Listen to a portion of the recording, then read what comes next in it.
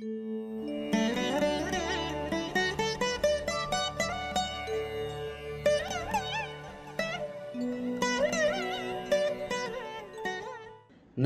அனைவருக்கும் வணக்கம். எல்லோரும் நன்றாக இருப்பீர்கள். கடந்த லைவ்ல சொன்ன மாதிரி ஐஏஎஸ் மற்றும் ஐஎஃப்எஸ் என்று சொல்லப்படக்கூடிய மத்திய அரசு ஆட்சி பணி அமைப்புகளுடைய ஜாதகங்களை விளக்குகிறேன் என்று சொன்னதைப் போலவே இப்பொழுது ஒரு இரண்டு ஐஏஎஸ் ஆபிசர்களுடைய ஜாதகம் அதிலும் எட்டு பனிரெண்டு சுபத்துவம் என்பதை விளக்குவதற்காக நம்முடைய மாநிலத்திலேயே ஒரு உயர் அதிகாரம் கொண்டவராக இருக்கக்கூடிய ஒரு ஐஏஎஸ் ஆஃபீஸருடைய ஜாதகம் மற்றும் நம்முடைய பக்கத்து மாநிலத்தில் இருக்கக்கூடிய இன்னொரு தமிழரான ஐஏஎஸ் ஆஃபீஸருடைய ஜாதகத்தை விளக்குகின்ற அதே நேரத்தில் ஐஎஃப்எஸ் என்று சொல்லப்படக்கூடிய இந்திய காட்டிலாக்கா வன அதிகாரின்னு சொல்கிறோம் இல்லையா? ஒரு ஐஏஎஸ் ஆபீசருக்கும் ஐஎஃப்எஸ் என்று ஆபீசர் என்று சொல்லப்படுபவருக்கும் அதிகார ஏற்ற இறக்கங்கள் இருக்கிறது இல்லையா? அதுபோன்ற அமைப்புகளை எப்போது எப்படி கணிப்பது என்கின்ற அமைப்பு. சிம்மம் சிம்மாதிபதி சுபத்துவம் மற்றும் பதவியை குறிக்கக்கூடிய பத்தாம் பாவகம் வலுத்திருக்க வேண்டும் என்கின்ற நிலையில் நுணுக்கமான சில அமைப்புகளை என்னுடைய சுபத்துவ பாபத்துவ சூட்சுமவுல அடிப்படையில் சொல்லக்கூடிய ஜோதிடனாகிய நான் இங்கே சில நிலைகளை விளக்கி சொல்ல போகிறேன் முதல்ல வந்து பெரியவங்க உயர் அதிகாரம் படைத்தவர்களுடைய ஜாதகத்தை விளக்கிறதுலேயே நிறைய ஒரு சிக்கல்கள் இருக்கின்றன. என்ன அப்படின்னு பார்த்தீங்கன்னா அவர்களுக்கு முதல்ல அவங்கக்கிட்ட பர்மிஷன் வாங்கிக்கணும். சிலர் எல்லோரும் வந்து ஒத்துக்கொள்ளுவார்கள் என்று சொல்ல முடியாது. ஒரு ஜோதிட ஆர்வத்தில் நான் வந்து ஜோதிட ரீதியாகத்தான் இந்த வீடியோவை போட போகிறேன் பலனை சொல்ல போகிறேன் அப்படிங்கிறதுக்கும் அவர்களுடைய ஒரு ஒப்புதல் இருக்க வேண்டும் அப்படிங்கிறதுல ஒரு பெரிய அமைப்புகள் ஒரு- ஒரு இது இருக்குது அதன் காரணமாகத்தான் சிலருடைய இதை பதிய முடியவில்லையே தவிர மற்றபடி வேறு எந்த காரணங்களும் கிடையாது. இப்பொழுது முதல்ல ஒரு ஜா- ஜாதக கட்டம் வருகிறது. இவர் இளம் வயதிலேயே அதாவது இருபத்தி ஐந்து வயதிலேயே இவர் ஐஏஎஸ் ஆஃபீஸராக நம்முடைய பக்கத்து மாநிலத்தில் இருக்கிறார். இவருடைய பிறந்த பிறந்த நேரம் இப்போது ஒரு ஜாதகம் வந்திருக்கிறது. நம்முடைய பக்கத்து மாநிலத்தில் இரண்டாயிரத்தி பதினெட்டாம் ஆண்டு முதல் ஐஏஎஸ் ஆபீசராக இருக்கக்கூடிய ஒரு இளைஞருடைய ஜாதகம். பதினாறு ஒன்று ஆயிரத்தி தொள்ளாயிரத்தி தொண்ணூற்றி மூன்று மதியம் இரண்டு மணி நாற்பது நிமிடத்திற்கு சென்னையில் பிறந்தவர். இவருடைய ஜாதக கட்டம் இப்போது வந்துவிட்டது. ரிஷப லக்னம். லக்னத்தில் கேது இரண்டில் செவ்வாய் ஐந்தில் குரு ஆறில் சந்திரன் ஏழில் ராகு எட்டில் புதன் ஒன்பதில் சூரியன் சனி பத்தாம் இடத்தில் சுக்கிரன். இதில் ஐந்து எட்டுக்குடையவர்கள் பரிவர்த்தனையான குரு புதன் பரிவர்த்தனை அமைப்பு ஒரு மிக பெரிய அளவில் நல்ல அளவில் இருக்கு. இந்த ஜாதகத்தில் உள்ள சிறப்பு என்ன அப்படின்னு சொன்னால் சூரியன் சனி சேர்க்கை. சூரியன் சனி சேர்க்கை இருந்தும் அதை விளக்குறதுக்காக தான் ரெண்டு ஐஏஎஸ் ஆஃபீஸருடைய ஜாதகத்தை எடுத்திருக்கிறேன். இதனை எடுத்து காட்டப் போகின்ற நம்முடைய தமிழகத்திலேயே ஒரு உயரதிகாரம் கொண்டவராக இருக்கக்கூடிய ஐஏஎஸ் ஆஃபீஸருடைய ஜாதகத்திலும் இது போன்ற சூரியன் சனி காம்பினேஷன்ஸ் இருக்குது அப்படிங்கிறது தான் உண்மை. ஆக இந்த இருபத்தி ஐந்து வயது இளைய பருவத்து இருபத்தி ஐந்து வயதிலேயே ஐஏஎஸ் ஆகிவிட்ட இவருடைய ஜாதகத்தை நீங்கள் எடுத்துக்கிட்டிங்கன்னா இதில் ஒரு சிறப்பு என்னென்னா இவருக்கு ஐஏஎஸ் ஆவதற்கு முன்பு இரண்டாயிரத்தி பதினெட்டாம் ஆண்டு அல்லது பதினேழாம் ஆண்டில் இவருக்கு பாண்டிச்சேரியில் ஒரு சாதாரண இதே யூபிஎஸ்சி ஐஏஎஸ்க்கான பரீட்சை எழுதி இதைவிட கீழான ஒரு அமைப்பில் மத்திய அரசு பணி ரெண்டாயிரத்தி பதினேழில் கிடைக்க. ரெண்டாயிரத்தி பதினேழில் இவருடைய தந்தை என்னிடம் திரும்ப வந்து அவன் ஐஏஎஸ் ஆஃபீஸு ஐஏஎஸ் கனவுல இருக்கிறான் அவன் ஐஏஎஸ்ல தான் எழுதிக்கிட்டு இருக்கிறான். இப்போது பாண்டிச்சேரியில் ஒரு சின்ன போஸ்ட் கிடைச்சிருக்கு. இந்த போஸ்ட்டை வந்து நான் போய் அக்செப்ட் பண்ண சொன்னால் அவன் முடியவே முடியாது நான் ஐஏஎஸ் தான் எழுதுவேன்னு சொல்கிறான் அப்படின்னு தந்தை வந்து நேரடியாக இரண்டாயிரத்தி பதினேழாம் ஆண்டு இவர் இவருடைய அப்பா வந்து என்கிட்ட நேரடியாக ப்ரொடிக்ஷன் கேட்டு அடுத்த வருடம் இரண்டாயிரத்தி பதினெட்டாம் ஆண்டு இவர் உறுதியாக ஐஏஎஸ் ஆவார். அதில் எந்த மாற்றமும் இல்லை என்று நான் பலன் சொல்லி. தந்தை இவருடைய இவரே போய் கூட அந்த பதவியை அவர் அக்செப்டே பண்ணலை. அதாவது பாண்டிச்சேரியில் இவருக்கு ஜாயினிங் ஆர்டர் வந்த உடனே இவர் தந்தையின் மூலமாக இங்கே ஜாயின் பண்ணலை. எனக்கு இந்த வேலை வேண்டாம் என்று எழுதி கொடுத்து தந்தை போய் அப்பா போய் அதை சப்மிட் பண்ண போகிறார் அப்போது கூட அங்கே இருப்பவர்கள் அப்பாவிற்கு சொன்ன ஒரு சஜஷன் இந்த வேலையில் ஜாயின் பண்ண சொல்லுங்கள் அதுக்கப்புறம் இங்கே இருந்துக்கிட்டே மறுபடியும் ஐஏஎஸ் எழுத சொல்லுங்கள் ஏன் வந்த வேலையை விடணும் விட சொல்கிறீங்க ஏன் வந்த வேலையை அவர் விடுறார்? அப்படின்னது கூட இந்த இளம் வயது இன்றைக்கு பக்கத்து மாநிலத்தில் ஐஏஎஸ் அதிகாரியாக இருப்பவர் ஜோதிடத்தின் மீது மற்றும் சில அமைப்புகளின் மீது ஒரு நம்பிக்கை அமைப்பின் அடிப்படையில் அந்த வேலையை ஒத்துக்கலை. அதைப் போலவே இவர் இரண்டாயிரத்தி பன்னிரெண்டாம் பதினெட்டாம் ஆண்டு பக்கத்து மாநிலத்தில் ஐஏஎஸ் உயரதிகாரியாக இருக்கிறார். இதில் உள்ள அந்த ஒரு சிறப்பு என்ன அப்படின்னு சொன்னால் நம்முடைய சூரியனும் சிம்மமும் அதிக வலுவாக இருக்க வேண்டும் என்பதன் அடிப்படை. இவருக்கு ரிஷப லக்னம். சிம்மாதிபதி சூரியன். சனியுடன் இணைந்திருந்தாலும் கூட அந்த சனியை குறு நெருக்கமாக பார்த்து சுபத்துவப்படுத்துகின்ற அதே நேரத்தில் சிம்மத்தை தனிச்சுக்கரன் பார்த்து மிக உயர்ந்த வலு இங்கே இருக்கிறது. சிம்மமும் சிம்மாதிபதியும் சுபத்துவமாக இருக்கக்கூடிய ஒரு தன்மை. அதைப் போலவே பத்தாம் வீடு ஒரு உயர் அதிகாரத்தை ஒருவர் அடைய வேண்டுமெனில் ஒரு உயர் அதிகாரத்தை ஒருவர் அடைய வேண்டுமெனில் அதிகாரம் செய்ய வேண்டுமெனில் ராசி லக்னத்திற்கு இரண்டிற்கு ஏதாவது ஒரு நிலையில் பத்தாம் பாவகம் வலுத்திருக்க வேண்டும் என்பது ஒரு விதி. இங்கே பார்த்தீங்கன்னா இவருக்கு லக்னத்தின் பத்தாம் வீட்டில் அங்கே இவர் இருக்கிறது மிகப்பெரிய அமைப்பு. சுக்கரன் தனி சுக்கரன் இருந்து தனி சுக்கரன் அமர்ந்து லக்னத்திற்கு பத்தாம் இடத்தில் அமர்ந்து சுபத்துவப்படுத்தக்கூடிய அதே நேரத்தில் சூரியனும் சந்திரனும் தங்களுக்குள் கேந்திரங்களாக இருக்கின்ற அமைப்பை மிக அருமையாக வலியுறுத்தியிருக்கிறேன். ராசிக்கு பத்தாம் இடத்தை சூரியன் தொடர்பு கொள்ள லக்னத்திற்கு பத்தாம் இடத்தில் சுக்கரன் தனித்திருக்க சிம்மம் வலுவாக இருக்கக்கூடிய அமைப்பு இங்கே. சூரிய சனி இந்த இடத்துல தான் நான் அடிக்கடி சொல்லுவேன். சனியை பார்த்து விட்டால் குரு தொடர்பு கொண்டு விட்டாலே அவருடைய பார்வை அல்லது அவருடைய இணைவு போன்றவைகள் நிவர்த்தி. இந்த சுபத்துவ பாபத்துவ அமைப்புகளை எப்பொழுது மிக தெளிவாக நாம் புரிந்து கொள்ளுகிறோமோ அப்போது ஒரு கிரகம் எத்தகைய காரகம் எத்தகைய ஆதிபத்தியத்தை எப்படி எந்த நிலையில் கொடுக்கும் அப்படிங்கிறதே மிகப்பெரிய அமைப்பு.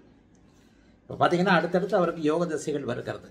சனிதசை சுக்கரபுக்தி சனிதசை அமைப்புகளிலே அவருக்கு வந்து கண்டிப்பாக சனி சுபத்துவமாக இருக்கின்ற காரணத்தினாலும் அடுத்தடுத்து புதன் புக்தி வர்ற காரணத்தினாலும் இவர் சனி திசை கேது பக்தியில் குருவின் பார்வை வாங்கிய கேது பக்தியிலே இவருக்கு ஐஏஎஸ் போஸ்ட் வந்துடும் அப்படின்னு ரெண்டாயிரத்தி பதினெட்டாம் ஆண்டு இவர் உறுதியாக இருப்பார் என்பதை நான் ஏற்கனவே சொல்லியிருக்கிறேன் அவர்கிட்டயே.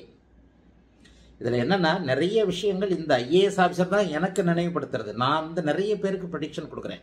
அதனால் இவர் ஐஏஎஸ் ஆஃபீஸர் அப்படி இப்படின்றதெல்லாம் அந்தந்த நேரங்களில் ஒரு நாளைக்கு பத்து இருபது ஜாதகங்களை பார்த்து கொண்டிருக்கின்ற நிலையில் இப்பொழுது நான் சொல்லுகின்ற தந்தை வந்தார். தந்தைக்கு நான் சொன்ன அமைப்புகள்லாம் எனக்கு நினைவில் இல்லவே இல்லை.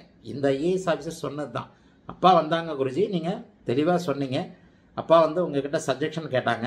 இவன் வேலையை விட போகிறேன் வேலையை ஒத்துக்க போகிறதில்ல ஐஏஎஸ் தான் வரும்னு சொல்கிறான் அப்படின்னதுக்கு நீங்கள் ஒரு கன்ஃபர்மேஷன் கொடுத்தீங்க. நீங்கள் கன்ஃபர்மேஷன் கொடுத்ததுனால தான் என்னுடைய பேச்சை கேட்காத எங்கள் அப்பா சரி குருஜி சொல்கிறார் அப்படின்னு சொல்லிட்டு நேராக போய் பாண்டிச்சேரியில் போய் எழுதி கொடுத்துட்டு வந்தார். அந்த அளவுக்கு நாங்கள் உங்கள் மேலே கான்ஃபிடெண்ட்டாக இருந்தோம் அப்படின்றது நான் கூட இந்த ஐஏஎஸ் ஆஃபீஸர் என்ன சொல்கிறேன் ஜாதகத்தை அடிப்படையில் தான் நான் பலன் சொல்கிறேன் என்னுடைய கான்ஃபிடென்ட் அப்படிங்கிறத விட சில நுணுக்கங்கள் அதாவது விஞ்ஞான ரீதியிலானது ஜோதிடம் என்பதற்கான சில அமைப்புகள் பாவக முனை தொடர்புகள் பாவக அடிப்படையில் வரக்கூடிய சில நிலைகள் வாழ்நாள் முழுக்க வரக்கூடிய யோக தசைகள். வாழ்நாள் முழுக்க வரக்கூடிய யோக தசைகள் இப்பொழுது நான் சொல்லக்கூடிய பத்தாம் பாவகம். இது போன்ற அமைப்புகளின் அடிப்படையில் நீங்கள் உறுதியாக ஐஏஎஸ் ஆஃபீஸர் ஆவீங்க அப்படின்னு சொல்லியிருக்கிறேன்னு. அதை போலவே இரண்டாயிரத்தி பதினெட்டாம் ஆண்டிலிருந்து பக்கத்து மாநிலத்தில் இவர் ஐஏஎஸ் ஆஃபீஸராக இருக்கிறார். இன்னும் சில நிலையில் நிலைகளில் சொல்லப்போனால் இளம் வயதிற்கே உரிய ஒரு நல்ல தன்மைகள் அதாவது நான் கரப்டட் ஆஃபீஸர் என்று சொல்லப்படக்கூடிய லக்கணத்தை குறு பார்த்துட்டாலே ஒரு மனுஷன் நல்லவனாக இருப்பான். நல்ல எண்ணங்கள் இருக்கும். சேவை மனப்பான்மை இருக்கும். சனி சுபத்துவம் என்றாலும் கூடுதல் ஆன்மீக அமைப்புகள் இருக்கும். எல்லாத்தையும் போட்டு கனெக்ட் பண்ணி பார்த்தாலே ஒருவர் ஐஏஎஸ் ஆஃபீஸர் ஆகிறது நிறைய இளைய பருவத்தினர் பார்த்தீங்கன்னா நம்ம யதார்த்தத்தின் அடிப்படையில் பார்த்தால் கூட நிறைய பேர் மக்களுக்கு சேவை செய்ய வேண்டும் என்பதன் அடிப்படையில் வருகிறார்கள். அதை போலவே சனி சற்று ஒடுக்கப்பட்ட மக்கள் மற்றும் அந்த பழங்குடியினர்னு சொல்கிறோம் இல்லையா? அவர்கள் அமைப்பில் வந்து இருக்கக்கூடிய சில சூழ்நிலைகளை வைப்பார் என்பதால் இந்த பக்கத்து மாநிலத்தில் பணி செய்யக்கூடியவர் இந்த ஒடுக்கப்பட்டிருக்கின்ற பழங்குடியின மக்களுடைய நன்மைக்காக பல்வேறு திட்டங்களை செயல்படுத்தி அவர்களுக்கு ஆத்மார்த்தமாக உதவிகளை செய்யக்கூடிய ஒரு பெரும் பணியை சேவையாக எடுத்துக்கொண்டிருக்கிறார் அப்படிங்கிறது தான் இங்கே இன்னும் நுணுக்கமாக சொல்லக்கூடிய ஒரு அமைப்பு. ஆகவே சிம்மம் சிம்மாதிபதி என்பது எப்பொழுது சுபத்துவமாக என்னுடைய சுபத்துவ பாவத்துவ கோட்பாட்டின் அடிப்படையில் இருக்கிறதோ அப்போது ஒருவருக்கு தசாபுத்தி அமைப்புகளும் பத்தாம் பாவகமும் ஒத்துழைக்கும் போது கண்டிப்பாக உயர்நிலை ஐஏஎஸ் ஆபிசர் அமைப்புகள் கிடைக்கும் என்பதற்கு இதுவும் ஒரு விதி. இதில் என்னன்னா லக்னாதிபதியும் வலுவாக இருக்கணும். லக்னாதிபதியின் வலு இப்போ வந்து கடைசியாக ஒரு ஜாதகம் காட்டுவேன் லக்னாதிபதியின் வலு குறைவால் ஐஏஎஸ் ஆஃபீஸர் ஆக போ ஆக முடியாத ஜாதகத்தையும் காட்டுவேன் கீழ்நிலை அமைப்புகளில்.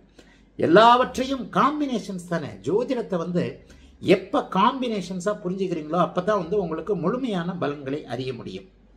ஆக லக்னாதிபதி வலுவாக இருக்கின்ற லக்னம் வலுவாக இருக்கின்ற லக்னத்தை குரு லக்னத்தில் கேது தான் இருக்கிறார். ராகு இல்லை. லக்னத்தில் கேது அமர்ந்து லக்னத்தை குறுபார்த்த அமைப்புகளில் இவருக்கு அடுத்தடுத்து வரக்கூடிய யோக தசைகள் பத்தாம் பாவகமும் ஒத்துழைக்கின்ற அமைப்புகளில் முன்கூட்டியே இவரை கண்டிப்பாக நீங்கள் ஆக முடிஞ்சது ஆக முடியும் என்று சொல்ல சொல்ல முடிந்தது. இதனை அடுத்து இப்பொழுது இப்பொழுது திரையில் வருவது தமிழ்நாட்டில் இப்பொழுது ஒரு உயரதிகாரம் படைத்தவராக இருக்கக்கூடிய ஒரு ஐஏஎஸ் ஆஃபீஸருடைய ஜாதகம். இவர் எட்டு ஒன்று ஆயிரத்தி தொள்ளாயிரத்தி எழுபத்தி ஐந்து சுமார் நான்கு மணி நாற்பத்தி ஐந்து நிமிடங்களுக்கு மாலை நான்கு மணி நாற்பத்தி ஐந்து நிமிடங்களுக்கு வேலூருக்கு அருகே பிறந்திருக்கிறார். இவருடைய ஜாதக அமைப்பு இப்போது வருகிறது. அனுஷம் நட்சத்திரம் விருச்சிக ராசி மிதுன லக்னம். லக்னத்தில் சனி ஆறில் சந்திரன் செவ்வாய் ராகு. ஏழில் சூரியன் எட்டில் புதன் சுக்கிரன். ஒன்பதில் குரு பனிரெண்டில் கேது. இது இவருடைய ஜாதக அமைப்பு. இந்த ஜாதகத்தை எதற்காக மேல்கோ மே- ஒரு ஒரு உதாரணமாக காட்டுறேன் அப்படின்னு சொன்னால் சூரியனை சனி பார்க்கிறார். சூரியனை சனி பார்க்கின்ற இந்த ஜாதகத்தில் மேம்போக்காக சூரியன் பலவீனமாகி விட்டார் என்று தெரிந்தாலும் இன்னொரு அமைப்பு சொல்லணும்னா சூரியனை கிட்டத்தட்ட மூன்று டிகிரியில் சனி பார்க்கிறார். சூரியனை மூன்று டிகிரியில் சனி பார்த்த ஜாதகம். ஆயினும் அந்த சனி ஒரே டிகிரி பார்வையில் குருவின் பார்வையில் இருக்கிறார். இந்த ஜாதகம் தற்போது தமிழ்நாட்டில் ஐஏஎஸ் ஆஃபீஸராக இருக்கிறாரு. இதில் இன்னும் ஒன்று சொல்ல போனால் இங்கே பன்னிரெண்டாம் இடம் எட்டு பன்னிரெண்டில் பன்னிரெண்டாம் இடம் இங்கே சுபத்துவமாக இல்லை. பன்னிரெண்டாம் இடத்தில் ராகு கேதுக்கள் அமர்ந்திருக்கிறார்கள். ஆகவே சொந்த மாநிலத்திலேயே ஐஏஎஸ் ஆஃபீஸராக இருக்கிறார். சொந்த மாநிலத்தில் ஐஏஎஸ் ஆஃபீஸராக இருக்கக்கூடிய தன்மை சூரியன் சனி இரண்டு டிகிரி பார்வைக்குள் இருந்தாலும் கூட இங்கே பத்தாம் பாவகம் எந்த விதமான பாவத்துவமும் இன்றி பத்தாம் பாவகாதிபதியாகிய குரு ஒன்பதாம் இடத்தில் தர்ம கர்மாதிபதி யோக அமைப்பில் சுப அமைப்பில் இருக்க ராசிக்கு பத்தாம் இடத்தை சிம்மமாகி அதை குரு பார்க்கிறார் ராசிக்கு பத்தாம் இடம் வலுவடைஞ்சிருச்சா லக்னத்திற்கு பத்தாம் இடம் எந்த விதமான சேத அமைப்புகளும் இல்லாமல் இருக்கிறதா? லக்னாதிபதி பரிவர்த்தனை அமைப்புகளில் இருக்கக்கூடிய ஒரு நல்ல நிலை வந்து விட்டதா? லக்னத்தை குருபார்க்கிறார். லக்னாதிபதி பரிவர்த்தனை நிலையில் இருக்கிறார். ஆக லக்னமும் லக்னாதிபதியும் வலுவாக அமைந்துவிட்ட இந்த அமைப்பில் சிம்மம் வலுவாகி இருக்கக்கூடிய தன்மையில் சூரிய சனி பார்வை அப்படி ஒன்றும் பெரிய அமைப்புகளை இங்கே கொடுத்தரல இந்த சனியின் பார்வை திருப்பலம் என்கின்ற அமைப்பை எப்பொழுது நீங்கள் தெளிவாக புரிந்து கொள்கிறீர்களோ ஸ்தான பலம் திக்பலம் திருப்பலம் கால அயன சேஷ்ட பலங்கள் என்று சொல்லப்படக்கூடிய அமைப்புகளை எண்களாக பொருத்தாமல் சமன்பாடுகளாக பிரித்து கொண்டு இந்த இடத்துல அந்த சனியை குறு பார்க்கின்ற அமைப்பு ஒரே டிகிரியில் இருப்பதை நல்ல விதமாக கவனித்தாலே சூரியன் இங்கே சனியின் பார்வையால் வலுவிழக்கவில்லை என்கின்ற அமைப்பு தெரிஞ்சிடும். இந்த அமைப்பும் லக்னாதிபதி பரிவர்த்தனையான அமைப்பும். ஒன்று எட்டுக்குடையவர்களுடைய பரிவர்த்தனையின் காரணமாக லக்னாதிபதி திரும்ப லக்னத்திற்கே போகக்கூடிய நல்ல அமைப்பிலும் லக்னாதிபதி சுபத்துவமாக இருக்கிறார். லக்னாதிபதி சுக்கிரனோடு தனிச்சுக்கிரனோடு சேர்ந்திருக்கிறார். லக்னத்தை குருபார்க்கிறார். இங்கே லக்னத்துல சனி இருக்கிறார்ன்றதை எடுக்கவே கூடாது. ஆக சிம்மம் சுபத்துவம் பத்தாம் இடம் சுபத்துவம் என்கின்ற அமைப்பின் அடிப்படையில் இவர் நம்முடைய மாநிலத்திலேயே சொந்த மாநிலத்திலேயே அதிகாரியாக ஐஏஎஸ் அதிகாரியாக பணி செய்யக்கூடிய அமைப்பு இவருக்கு இருக்கிறது. அடுத்ததாக ஒரு இன்ட்ரெஸ்டிங்காக ஐஎஃப்எஸ் ஆபீசர் அதாவது என்னிடம் இரண்டாயிரத்தி பதினெட்டாம் ஆண்டு பலன் கேட்க வந்து நீங்கள் ஐஏஎஸ் அதிகாரியாக ஆக முடியாது ஆனால் ஐஎஃப்எஸ் அதிகாரியாக ஆவீர்கள் என்று சொல்லி இரண்டாயிரத்தி இருபத்தி ஓராம் ஆண்டு ஐஎஃப்எஸ் ஆபீசராக வெளிமாநிலத்தில் ஆன ஜாதகம். இந்த ப்ரடிக்ஷன் கூட சம்பந்தப்பட்ட இதே அதிகாரி எனக்கு சொன்னது தான் எனக்கு ஞாபகம் கிடையாது. அதாவது இப்பொழுது திரையில் ஒரு ஜாதகம் வருகிறது. இப்போது திரையில் ஒரு ஜாதகம் வருகிறது. இந்த ஜாதகம் சரி இப்பொழுது திரையில் இந்த ஜாதகம் வந்திருக்கிறது. இவர் வெளி மாநிலத்தில் ஐஎஃப்எஸ் ஆபீசர் என்று சொல்லப்படக்கூடிய ஐஎஃப்எஸ் ஆஃபீஸர் என்று சொல்லப்படக்கூடிய வன அதிகாரியாக மத்திய அரசு பணியில் வேறு மாநிலத்தில் தூர மாநிலத்தில் இருக்கிறார். இவர் இவருடைய எனக்கு ஞாபகம் இல்லை இவர் தான் சொல்கிறார் அதாவது இரண்டாயிரத்தி பதினெட்டாம் ஆண்டு நான் உங்ககிட்ட ப்ரெடிஷன் கேட்க வந்தேன் குருஜி. நீங்கள் வந்து இரண்டாயிரத்தி இருபத்தி ஓராம் ஆண்டு அப்பொழுது நான் ஐஏஎஸ்க்கான பரீட்சைகள் எழுதிக்கிட்டு இருக்கிறேன். உங்களுடைய அமைப்பின் அடிப்படையில் ஐஏஎஸ் பதவி உங்களுக்கு இருக்கிறதுக்கான வாய்ப்புகள் இல்லை. அதைவிட கீழே குறைந்த மிகவும் குறிப்பாக ஐஎஃப்எஸ் ஆஃபீஸர் என்று சொல்லப்படக்கூடிய ஐஎஃப்எஸ் ஆஃபீஸராக வெளிமாநிலத்தில் ஆவீங்கன்னு சொல்லிட்டு சொல்லி அனுப்பிச்சிங்க. ரெண்டாயிரத்தி இருபத்தி ஒன்றாம் ஆண்டு. ரெண்டாயிரத்தி இருபத்தி ஒன்றாம் ஆண்டு இப்பொழுது நான் ஐஎஃப்எஸ் ஆஃபீஸராக ஆகியிருக்கிறேன். போன வருஷமே நான் ஆயிட்டேன் அப்படின்னு சொல்லிட்டு இவர் ஒரு பெண். இவர் இது எனக்கு உண்மையிலே ஞாபகம் இல்லை. ஆனால் அவரே வந்து அடுத்தடுத்து சொல்லக்கூடிய அமைப்புகளில் ஆனதுக்கப்புறம் ரெண்டாயிரத்தி இருபத்தி ஓராம் ஆண்டு ஐஎஃப்எஸ் அதிகாரியாக தேர்ந்தெடுக்கப்பட்டதற்கு பிறகு உடனடியாக என்கிட்ட பேசினார். நீங்கள் சொன்ன மாதிரியே ஐஎஃப்எஸ் ஆஃபீஸர் தான் எனக்கு கிடைச்சது. ஐஎஃப்எஸ் ஆஃபீஸராக இந்த மாநிலத்தில் இருக்கிறேன்னு சொல்லிட்டு. வேறு விஷயங்களுக்கு அனைத்து மற்ற விஷயங்களுக்கு ஜோதிட ஆலோசனை கேட்பாங்க இல்லையா?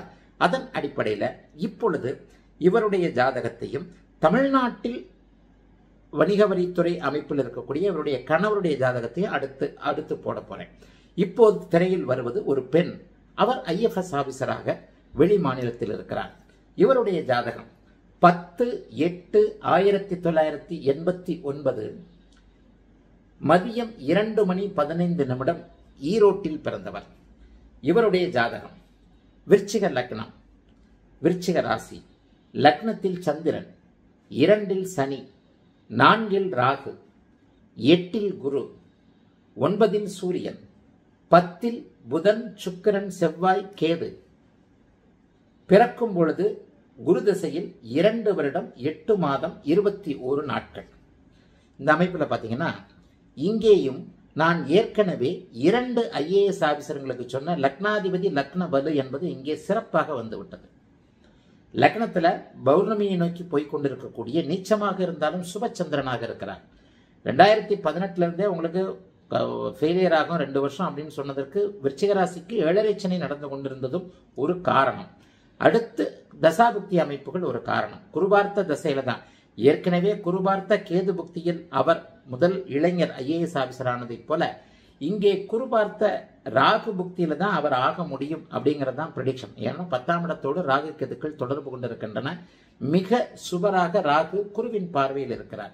இங்கே பார்த்தீங்கன்னா லக்னாதிபதி பத்தாம் இடத்தில் சுபர்களோடு இணைந்து நான் சொல்லுகின்ற சூட்சும வலு மற்றும் சுபத்துவமாக இருக்கிறார்.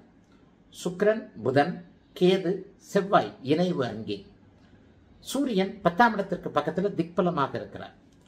ஒரு ஒரு நிலை எப்படி குறைகிறது? ஒரு ஐஏஎஸ் ஆக இருக்கக்கூடியவருக்கு வன அதிகாரி என்று சொல்லப்படக்கூடிய ஐஏஎஸ் அதிகாரத்தை விட குறைந்த அதிகாரம் எப்படி கிடைக்கிறது என்பதற்கான காரணம். இங்கே சூரியன் கூடுதல் சுபத்துவத்தோடு இல்லை.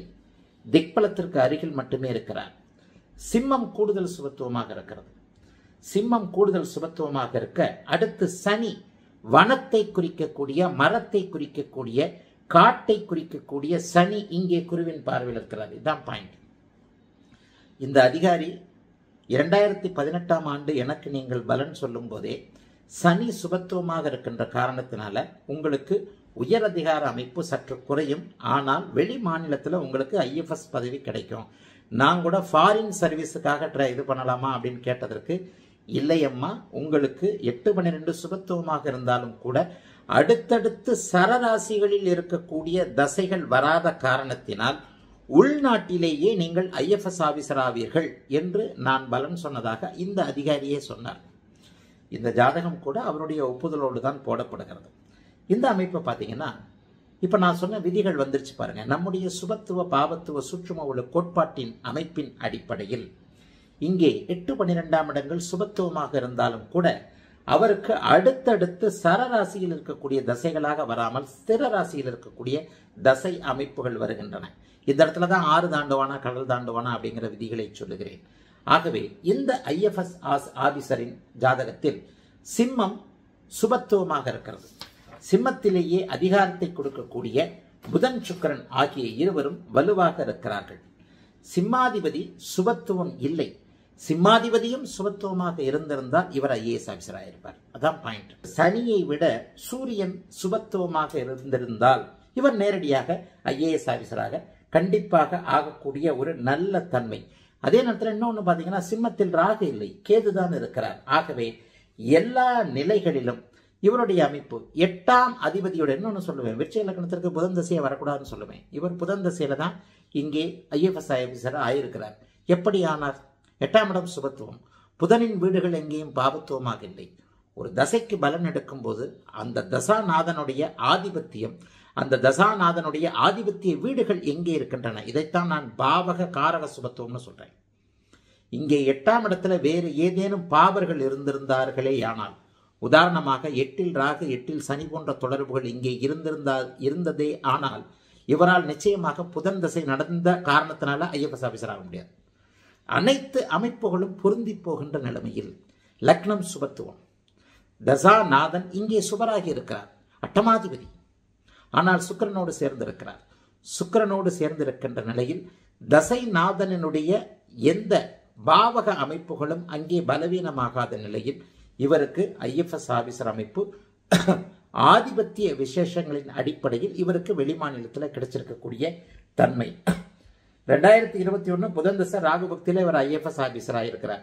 அப்பொழுதே நான் சொன்னதாகவும் இவரே குறிப்பிடுகிறார். என்ன சொல்கிறாருன்னா அதற்கடுத்து கல்யாணம் ஆகும். குரு பக்தியில் நீங்கள் தாய்மை அடைவீங்க அம்மாவாயிடுவீங்கன்னு சொல்லியிருக்கிறேன் அதன்படியே ரொம்ப சந்தோஷமாக என்கிட்ட இவர் பேசினார். குருஜி இப்பொழுது தாய்மை பேர் அடைஞ்சிருக்கிற நீங்கள் சொன்ன மாதிரியே புதன் தசை குரு பக்தியில் எனக்கு குழந்தை பிறக்க போது வர வரப்போகின்ற ஏப்ரல் மாதம் எனக்கு குழந்தை பாக்கியம் கிடைக்க போகிறது அப்படிங்கிறது. இன்னொன்று இவருக்கும் ஜோதிடம் நல்லா வரும். இப்போ பெரும்பாலும் ஒரு நிலையில் ஒரு உயர் அதிகாரம் படைத்தவர்கள் அனைவருமே ஜோதிட ஆர்வம் உள்ளவர்கள் அனைவருமே இந்த விதிகளை உங்களுடைய ஜாதகத்தில் பொருத்தி பார்க்குறீங்க இல்லையா? அப்போ அது நூ நூறு சதவீதம் சரியாக இருக்கின்ற போது தானே ஒரு விதமான அமைப்பிற்கு கன்சல்டேஷனுக்கு வர்றீங்க. அந்த அமைப்பிற்கு எடுத்துக்காட்டாக வெளி மாநிலத்தில் வன அதிகாரியாக இந்திய ஆட்சி பணியாளராக ஐஎஃப்எஸ் ஆஃபீஸராக இருக்கக்கூடிய ஒரு எடுத்துக்காட்டுடன் கூடிய ஜாதகம் இது. ரெண்டாவது இவருடைய கணவர் தமிழ்நாட்டில் வணிக வரித்துறையில் இருக்கிறார். இவருடைய கணவரின் அமைப்பில் பார்த்தீங்கன்னா தமிழ்நாட்டில் வணிக வரித்துறையில் இருக்கக்கூடிய இவருடைய கணவருடைய ஜாதகம் இப்போது இங்கே வந்து விட்டது. மனைவி இந்திய ஆட்சி பணியாளராக இருக்க கணவர் அதைவிட குறைந்த நிலையில் ஒரு அதிகாரியாக கூட இல்லாமல் வணிக வரித்துறையில் இருக்கிறார். ஏ இப்போ ரெண்டு பேருக்கு என்ன வித்தியாசம்? என்ன இதை பிரிக்குது? எந்த அமைப்புகள் கிரேடுன்னு சொல்லப்படக்கூடிய படிநிலை அமைப்புகளை காட்டுகின்றன? இங்கே கணவரின் ஜாதகம் வந்துவிட்டது. கணவர் பன்னிரெண்டு ஒன்று ஆயிரத்தி தொள்ளாயிரத்தி எண்பத்தி ஏழு. பன்னிரெண்டு ஒன்று ஆயிரத்தி தொள்ளாயிரத்தி எண்பத்தி ஏழு. நான்கு நாற்பது அதிகாலை. நான்கு நாற்பது அதிகாலை. விருதுநகரில் பிறந்தவர். கணவருடைய ஜாதகம். விருச்சிக லக்னம் ரிஷபராசி மிருகசீரிடம் நட்சத்திரம். விருச்சிக லக்னம் லக்னத்திலேயே சுக்கிரனும் சனியும். இரண்டாவது வீட்டில் சூரியன் புதன். நான்கில் குரு. ஐந்தில் செவ்வாய் ராகு.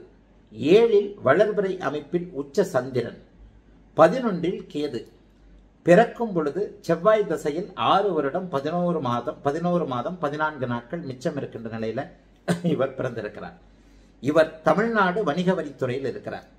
ஏற்கனவே வணிக வரித்துறையை பற்றி நம்ம சில வீடியோக்கள் போட்டோம். அப்போ என்ன சொன்னோன்னா வரி வசூலிக்கும் அதிகாரியாக ஒருவர் இருக்கணும் அப்படின்னு சொன்னாலே அல்லது வரி வசூலிக்கும் துறைகளில் ஒருத்தர் இருக்கணும் அப்படின்னாலே ராசி லக்னத்திற்கு இரண்டு பத்தாம் இடங்களோடு குரு தொடர்பு கொண்டிருக்க வேண்டும். சிம்மம் வலுத்திருக்க வேண்டும். சிம்மாதிபதி வலுத்திருக்க வேண்டும்னு சொல்லிடுவேன். சரி இந்த அமைப்பு பார்த்தீங்கன்னா இவர் தமிழ்நாடு வணிக வரித்துறையில் பணி வேலை செய்கிறார் சரி இங்கே என்ன குறைந்து விட்டது? நல்லா பாருங்க லக்னாதிபதி பாவத்துவம் அடைந்து விட்டார். லக்னாதிபதியின் வலு குறைந்து விட்டது. லக்னத்தில் சனி இருக்கிறார். அதுவும் வலு குறைஞ்சிருச்சு. லக்ன வலுவை விட லக்னாதிபதி கூடுதலாக வலுவிழந்து விட்டார்.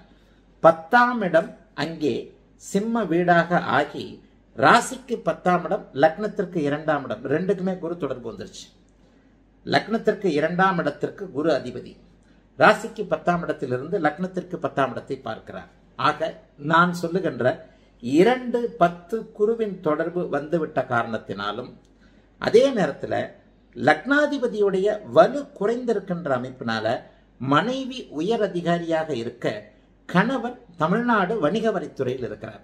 இதில் ஒரு இன்ட்ரெஸ்டிங் என்னன்னா கணவருக்கும் எட்டு பன்னிரெண்டு சுபத்துவம். அப்போ சமீபத்தில் அவர் பேசும்போது நான் கேட்குறேன் அம்மா உங்களுடைய கணவருக்கு எட்டு பன்னெண்டு சுபத்துவமாக இருக்கிறதேம்மா? அப்படி இருக்கும் பொழுது ரெண்டு பேருமே எட்டு பன்னெண்டு சுபத்து போது நீங்கள் வேறொரு மாநிலத்தில் தூர மாநிலத்திலிருந்து கணவர் இங்கே இருக்கிறார் அப்படிங்கிற அமைப்பில் இங்கே சில விஷயங்கள் இடிக்குதே. இவரும் அங்கே வர வேண்டும் போல அந்த அமைப்புகள்லாம் இருக்கே அப்படின்னோடனே அவர் சிரிச்சுக்கிட்டே சொன்னார். ஆமாம் குருஜி அவர் கணவர் வந்து ரிசைன் பண்ணிட்டு அங்கேயே வர போகிறார் தொழில் பண்ண போகிறாரு தமிழ்நாடு வணிக வரித்துறை பதவியை ராஜினாமா பண்ணிவிட்டு என்கூடயே என்னுடைய மாநிலத்திலேயே இங்கேயே இருந்து தொழில் பண்ணக்கூடிய அமைப்பு. உங்களுடைய எட்டு பன்னிரெண்டு விதி அங்கேயும் பொருந்தி வந்துருச்சு. குழந்தை பிறக்கிறது அமைப்புக்காக நாங்கள் சில பிளான் எல்லாம் வச்சுருக்கிறோம். இந்த வருஷத்திலேயே அவர் ரிசைன் பண்ணிவிட்டு அங்கேயே வரப்போகிறாருன்னு சொல்லிட்டாங்க. அவ்வளவுதான் அந்த எட்டு பன்னிரெண்டு விதிகளை எப்படி சுபத்துவமாக பொறி இது பண்ணுறது தசாபக்தி அமைப்புகளை எப்படி கணி எப்படி ஒரு நிலையில் கணிப்பது என்பது போன்ற அமைப்புகளை மட்டுமே ஒரு உறுதியாக ஒரு சமன்பாடுகளாக பார்க்கும் பொழுது நிச்சயமாக நம்முடைய ஆழ்ந்த அனுபவத்தின் அடிப்படையில் சில விஷயங்களை துல்லியமாக சொல்ல முடியும் என்பதற்கு இந்த ஐஎஃப்எஸ் அதிகாரியுடைய ஜாதகத்தையும் இங்கே லக்னா வில குறைஞ்சிருச்சு. லக்னா லக்னா லக்னா லக்னா இதை அடிச்சுக்கிறேன் இதுக்கு தான் அடிச்சுக்கிறேன். ஒரு நிலையில் லக்னம் எந்த பாவக முனையில் இருக்கிறது? லக்ன பாவக முனையோடு தொடர்பு கொண்டிருக்கின்றவர்கள் யார்? லக்ன பாவகம் எந்த இடத்தில் அமர்ந்திருக்கிறது? லக்னாதிபதி எங்கே இருக்கிறார்? அவருடைய சுபத்துவ பாவத்துவ கணக்குகள் என்ன? அது ரொம்ப பெரிய முக்கியம். இந்த இடத்துல கூட பார்த்தீங்கன்னா இந்த ஐஎஃப்எஸ் ஆஃபீஸருடைய கணவரின் ஜாதகத்தில் செவ்வாய் பதினான்கு டிகிரி வள அளவில் விலகி குருவின் வீட்டில் இருக்கிறார். ஒரு நிலையில் அவர் குருவின் வீட்டில் இல்லாமல் சனியின் வீட்டில் இன்னும் கூடுதல் பாவத்துவமாக இருந்தால் அரசு வேலையை கிடைச்சிருக்காரு. கண்டிப்பாக கிடைச்சிருக்காரு. அரசு வேலை கிடைக்காது. அரசு வேலை கிடைத்தும் அதை விட்டு விட்டு தொழில் பண்ணக்கூடிய அமைப்பு. தொழில் பண்ணா கூட என்ன அமைப்பு? இப்பொழுது நான் சொன்ன அமைப்புகளைப் போல இரண்டு பத்தாம் இடங்களோடு இருக்கின்ற அமைப்பும் சனி சுபத்துவம் இல்லையா? சுக்கரனோடு சேர்ந்து சனி சுபத்துவமாக இருக்கிறார் இல்லையா? சனியும் அங்கே பத்தாம் பார்வையாக பத்தாம் இடத்தோடு தொடர்பு கொள்கிறார் இல்லையா?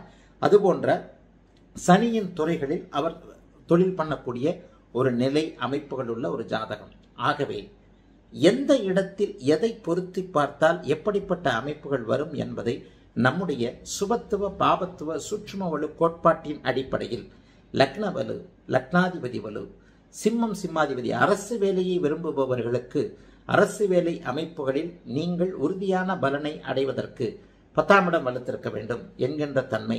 லக்னாதிபதி கூடுதல் சுபத்துவமாக ஒரு அதிகாரத்தை நீங்கள் பண்ண போறீங்க. அதிகாரியாக இருக்க போகிறவருக்கு ஒரு ஒரு ஒரு ஒரு ஆஃபீஸர் ஒரு காவல்துறை அதிகாரியாக இருக்கிறீர்கள் அல்லது ஒரு கலெக்டராக இருக்கிறீர்கள். ஒரு நிலையில் உங்களுக்கு கீழானவர்கள் உங்களுக்கு வணக்கம் சொல்லியே ஆகணும் இல்லையா? அந்த வணக்கத்தை பெறுவதற்கான சல்யூட்டை பெறுவதற்கான முறையான அதிகார தகுதி அமைப்புகள் உங்களுடைய ஜாதகத்தில் இருந்தே தீர வேண்டும். அதற்கு லக்னாதிபதி வலுவாக இருக்க வேண்டும் என்பது ரொம்ப ரொம்ப முக்கியம். எல்லா இடத்துலையும் அந்த காம்பினேஷனை பொருத்தி பார்க்கும் பொழுதுதான் லக்னம் வலுத்திருக்கிறதா பத்தாம் பாவகம் வலுத்திருக்கிறதா தசாபக்தி அமைப்புகள் வரிசையாக வருகிறதா ஏதேனும் ஒரு பாவத்துவம் இருந்தால் கூட அந்த பாவத்துவத்திற்கு நிவர்த்தி இருக்கிறதா அரசு வேலையை குறிக்கக்கூடிய சிம்மம் சிம்மாதிபதி வலுத்திருக்கிறதா என்பதை மிக தெளிவாக புரிந்து கொண்டாலே இப்பொழுது நான் இங்கே போட்டிருக்கின்ற இரண்டு ஐஏஎஃப் ஐஏஎஸ் அதிகாரிகளுடைய எட்டு பன்னெண்டு சுபத்துவம் வெளிமாநில அமைப்புகளுக்கு வந்துடும் இந்த எட்டு பன்னிரெண்டு சுபத்துவ விதி வேத ஜோதிடத்தில் பிற்காலத்தில் வேறு விதமான பரிணாமத்தை அனைத்து இப்போவே நிறைய பேர் ஒத்துக்கிறீங்க. வெளிநாடு வெளிமாநிலம் என்கின்ற அமைப்புகளுக்கு இந்த எட்டு பன்னிரெண்டு சுபத்துவ விதிகளை வைத்தே நீங்கள் பிறந்த நேரத்தை கூட திருத்தலாம் என்கின்ற அமைப்பை மிக தெளிவாக சொல்லியிருக்கிறேன். பரம்பொருள். என்னுடைய சிற்றறிவுக்கு தெரிய அனுமதித்த சில விதிகள். அடுத்தடுத்து நம்ம அடுத்தடுத்து நம்ம ஒவ்வொரு சில நிலைகளில் இப்போது அடுத்து சில கட்டுரைகள் மற்றும் சில பாவக முனை அமைப்புகளை விளக்க விளக்கப் போகின்ற சில நிலைகளில் இன்னும் சில விதிகளை நான் பாவக காரக ஆதிபத்திய அமைப்புகளின் சுபத்துவ பாவத்துவ நிலைகளை விளக்கும் பொழுது பாரம்பரிய ஜோதிடத்தில் இந்த முறையில் மட்டுமே துல்லியமான பலன்களை அறியலாம் அப்படிங்கிறது நிறைய பேருக்கு விளங்க விளங்கும் அப்படிங்கிறதுல எந்த விதமான சந்தேகமும் இருக்காது அப்படிங்கிறது தான் உண்மை. ஆகவே இப்பொழுது உயர் அதிகாரம் என்பது படிநிலை அமைப்புகளின்படி எப்படி இருக்க முடியும் எப்படி கிடைக்கும் என்பதை என்னுடைய மாணவர்கள் தெரிஞ்சிருப்பீங்க அப்படிங்கிறத உறுதியாக நம்புகிறேன் வாழ்த்துக்கள். அடுத்த ஒரு வீடியோவில் பார்ப்போம். எல்லோருக்கும் இது பயனடையணும் அப்படின்றதுனால தான் பொது வீடியோவாகவே போட்டு விட்டேன் வாழ்த்துக்கள். எல்லோரும் நன்றாக இருப்பீர்கள்.